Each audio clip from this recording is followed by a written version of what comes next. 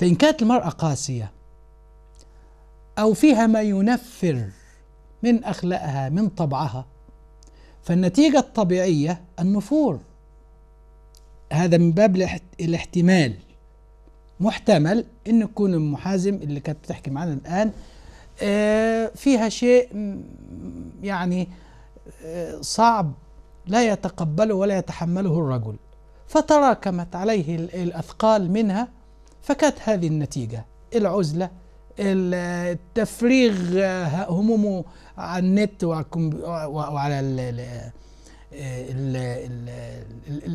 الإلكترونيات. بدي أقلب بقى على الجنب الثاني لابو حازم يا أبو حازم الله يمسك بالخير ويصبحك كمان بالخير.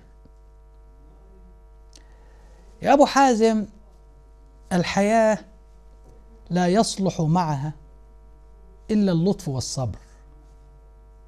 وأم حازم بشر فإن ظهر منها ما ينفرك من سوء طبع أو علو صوت أو صراخ أو نشوز أو معصية أو ما ينفرك منها. فادع لها اولا ثانيا دارها. دارهم ما دمت في دارهم. أما الهجر الدائم فالهجر الدائم لم يقل به شرع.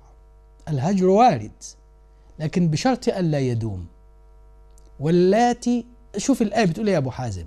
واللاتي تخافون نشوزهن فعظوهن واهجروهن في المضاجع واضربوهن فإن أطعنكم فلا تبغوا عليهن سبيلا. اصبر عليها يا أبو حازم. واخلق الأساليب التي تقربها منك. وابلع منها مثل ما أمر الله تعالى في القرآن قال خذ العفو. يعني إيه يا أبو حازم؟ يعني إيه خذ العفو؟ معنى خذ العفو يعني اقبل من اللي قدامك ما يصدر منه لأن هذا هو اللي عنده. إذا أم حازم طبيعتها صوتها عالي طبعها في قسوة هي مش قادرة تغير طبعها. الإنسان ابن بيئته. فإن كان هذا هو طبعها ربنا سماه عفو. يعني ما يصدر عنها عفوا فاقبله منها. خذ العفو وأمر بالعرف وأعرض على الجاهلين. أما الهجر الدائم فهذا سيترتب عليه مفاسد كبيرة جدا. أنت مش هتقدر تتحملها ولا تتحمل عبئها ولا تتحمل نتائجها. اخلق أنت بينك وبينها الأجواء إن لم تصدر الأجواء الطبيعية منها. ومهارة الإنسان بتتجلى في قدرته على ملكيته للأجواء وللأمور.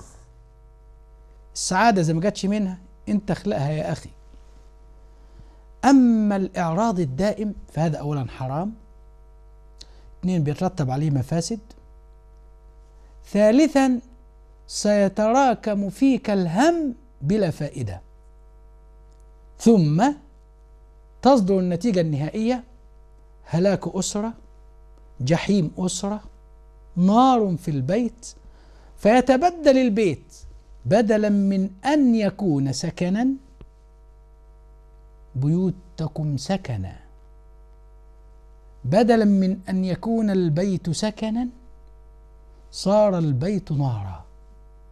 وإذا انقلب البيت من سكن إلى نار قل لي بقى كيف هتنام؟ وكيف هتاكل؟ وكيف هتعيش؟ النتيجة الحتمية الأمراض. أنت تحب أنك تتراكم عليك الهموم وتمرض؟ اصلح ما بينك وبينها لأن الصلح خير. إنما المؤمنون إخوة فأصلحوا بين أخويكم واتقوا الله لعلكم ترحمون. فإذا أردت الرحمة من الله ارحم أم حازم. والكلام أنا أوسعه من أم حازم وأبو حازم إلى جميع خلق الله. فالبيوت لا تبنى يا جماعة. يعني كثير من البيوت ما بنيت لا على العواطف ولا على الغرام ولا على الحب والأحلام ولا على الرومانسية. البيوت تبنى على المروءة وبإقامة الحقوق. الرجال قوامون على النساء. بما فضل الله بعضهم على بعض وبما أنفقوا من أموالهم فالصالحات قانتات حافظات للغيب بما حفظ الله واللاتي تخافون نشوزهن فعظوهن واهجروهن في المضاجع واضربوهن فإن أطعنكم فلا تبغوا عليهن سبيلا إن الله كان عليا كبيرا. أسأل الله أن يبلغكم سبل الرشاد. وأن يصلح ذات بينكم. أرجع لموضوعي. مدرسة الإبل عرفناها خدنا منها الصبر خدنا منها التواضع خدنا منها التحمل خدنا منها الخفة رغم عظمة الجمل إلا إنه يا أخي لما بيمشي تجد إنه مثل الريشة. والخفة في الحركة دليل النشطاء دايما أي إنسان نشيط بتلمح فيه الخفة في حركته. وأسوأ صفة في الإنسان الكسل وثقل الحركة لا هيقدر يشتغل ولا هيقدر يقوم بواجباته ولا هيقدر يرضي ربنا ولا هيقدر يرضي الناس ولا هيرضى حتى يرضي نفسه. الجمل بيركض وهو يجري خفيف.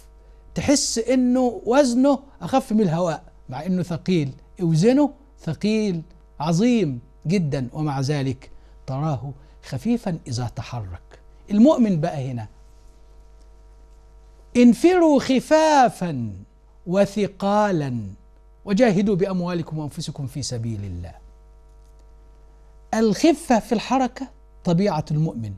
تراه إذا قام لصلاة الفجر خفيفا ما يتثاقل. لذلك التثاقل كان آه، كان سببا في ذم الله لأهله. ربنا قال في القرآن إيه؟ ما لكم إذا قيل لكم انفروا في سبيل الله ثاقلتم إلى الأرض. معنى ذم ثاقلتم يعني يريد عكسه وإذا نفى الله صفة أراد إيه؟ ضدها. كأمره بالشيء. الله إذا أمر بالشيء فالأمر بالشيء نهي عن ضده. خلاص؟ والله إذا نهى عن شيء فالنهي عن الشيء أمر بضده. فإذا قال ما لكم إذا قيل لكم انفروا في سبيل الله إذ ثاقلتم إلى الأرض يعني يعني خفوا اتحركوا لا تثقلوا. يعني لا تتكاسلوا. الكسل بيظهر منه عدم النظافة في البيوت. الكسل بيظهر منه عدم الإنتاج في المجتمع. الكسل بيظهر منه النفور بيسبب النفور. اخوانا ما في واحد كسلان بيتحب. العامل الكسلان ما بيتحبش بيرفضوه الموظف الكسلان بيتراكم عليه العمل. المسلم الكسلان ما بيصليش. لذلك مسألة ترك الصلاة كسلا. مشكلة. اتعلم من الجمل. مع عظمته؟ كيف يتحرك بخفة؟ ما أخف النبي صلى الله عليه وسلم حينما يسمع نداء ربه؟ لما ربنا قال له يا أيها المزمل قم الليل. إلا قليلا يا أيها المدثر قم فأذن. مطالبين أن نكون خفافا عند الدعوة إلى الله. ما نتثاقل ما نتكاسل. خفافا عند نداء الصلاة. اوعى تتثاقل عند نداء الصلاة. خفافا عند أداء الواجب والمعروف. ومش الواجب على العادات ال ال ال ال ال الذميمة في مجتمعنا. العادات اللي بتكسر الظهر وبتخرب ميزانيات البيوت. ما ما بقصدش بهذه هذه ما هي واجبات. لأن الله لا يكلف نفسا إلا وسعها. أقصد الواجبات يعني إيه؟ يعني أصحاب الحقوق علي من والدين من أرحام من حقوق ولادي من حقوق أصحاب الديون علي. لما يكون علي دين وربنا رزقني برزق. إيه بقى معنى التكاسل والتثاقل والتأخر والتماطل؟ إيه المعنى؟ المماطلة كسل. رزقني الله على طول أول ما أفكر. أخف وأطير وأرد الدين الذي علق في ذمتي لتبرأ به ذمتي. أي أو لتبرأ بالأداء ذمتي. فالذمة لا تبرأ في الديون إلا بالأداء. أو العفو. الخفة. ما أجمل الإنسان الخفيف. ما أجمل المصلي حينما يسرع. ولذلك آيات الخفة والأمر بها في القرآن واضحة. سارعوا إلى مغفرة من ربكم. والتقيل لا يمكن يسارع. سابقوا إلى مغفرة من ربكم. والتقيل ما يقدر يسابق غيره. ميدان المنافسة. مين أول واحد يحتل الصف الأول؟ مين أول واحد يروح صلاة الجمعة؟ سابقوا. انفروا. في سبيل الله. انفروا. والثقيل لا يستطيع أن ينفر. لا أقول لك وفي أسرع من كده كمان وأخف من كده. ففروا إلى الله. ففروا فر. أسرع من انفروا وأسرع من سارعوا وأسرع من سابقوا. فروا إلى الله. فروا دي حركة مروحية.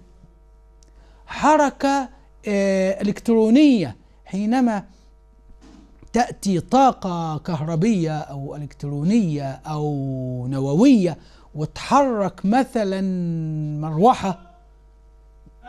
مثل حركة جناح جناح النحلة. النحلة بتلف أو الفراشة 300 300 حركة في الثانية. كيف؟ يعني حركة ارتعاشية. هذا هو الفر ففروا إلى الله. يعني استخدم أقصى سرعة عندك حينما تسمع نداء الله أو نداء الواجب بأداء الدين أو القيام بالبر. وأول واجب يجب أن تفر إليه واجب الوالدين. الوالدين ونحن في عصر العقوق. الوالدين ونحن في عصر الجفاف العواطف. الوالدين ونحن في عصر الجفاف وقحط البنوة والإحساس بالبنوة. ونحن في عصر الجحود والنسيان جحود الواجب جحود الحقوق. الوالدين ألو... الأم حينما تربي ثم ترى ابنها أطول منها وبعدين تكلمه يبجح في وجهها ويعلو بصوته عليها عالم بتقلب كفيك على ما ترى وتقول ما هذا العالم؟ معقول؟ معقول هذا الولد اللي إحنا ولدناه ونظفناه وأكلناه وكبرناه ثم لما ها قوي عوده هكذا يتعامل معي. طيب مدرسة أنظر دي هكملها الأسبوع القادم إن شاء الله إن لم يكن معي ضيف. فإن كان معي ضيف لأنه ربما يتناسب الأسبوع القادم مع موضوع الهجرة فربما يكون معي ضيف الأسبوع القادم إن شاء الله وإلى أن ألتقي بكم لكم مني أطيب الدعوات. بدعو لكم فادعوا لي. وما تنسوش الحلقة بتعاد غدا قبل صلاة الجمعة في تمام الساعة الحادية عشر تقريبا يوم السبت تقريبا في حدود الساعة 11 برضه آه، يوم السبت ويوم الخميس صباحا كذلك بتعاد. كل سنة وأنتم طيبين وسنة هجرية مباركة إن شاء الله عليكم لأنها تبدأ الأسبوع القادم أراكم بخير وسعدت بلقائكم والسلام عليكم ورحمة الله وبركاته